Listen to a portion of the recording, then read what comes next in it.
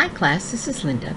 I wanted to talk to you a little bit about the four ingredients for success that we're going to discuss this week. We're going to talk about self-awareness. Self-awareness is much more than just looking at yourself and saying, hey, I feel this way or I think this way.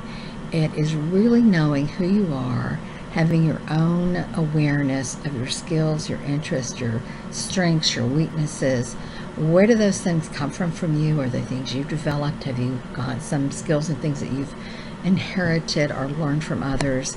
Being self-aware helps you make the best career choices and life choices.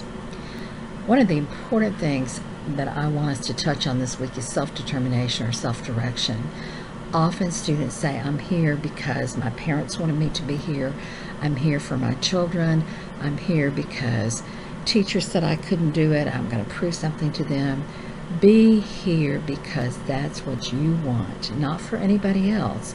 Because if you're here for someone else and that motivation disappears, then what have you got left?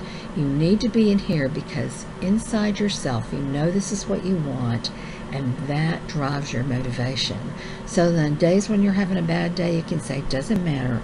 I made this decision. I'm sticking to it. I am going to be successful. Self-esteem, what does that mean? A lot of times we think of self-esteem as liking ourselves or feeling good about ourselves, but it actually means how do you treat yourself? Do you valuable your, value yourself? Do you see yourself as worthwhile? If you have something important in your life that you, value, a person, a thing, you are going to treat that well. You take really good care of those things that are precious to you, whether they be people or items, you need to take really good care of yourself as well. It's important for you to have that self-esteem that says, I am worth it. I am worth self-care. We're going to talk about that, I believe, in week two. I am worth this education. I am worth it. The last thing I want to touch on this week is positivity.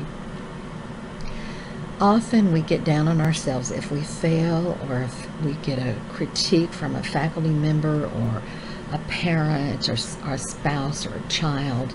We feel like we're a failure. Don't focus on failing or succeeding. Focus on mastery. If you are continually improving and you know that you are improving and you continually are trying to improve, have compassion on yourself when you fail.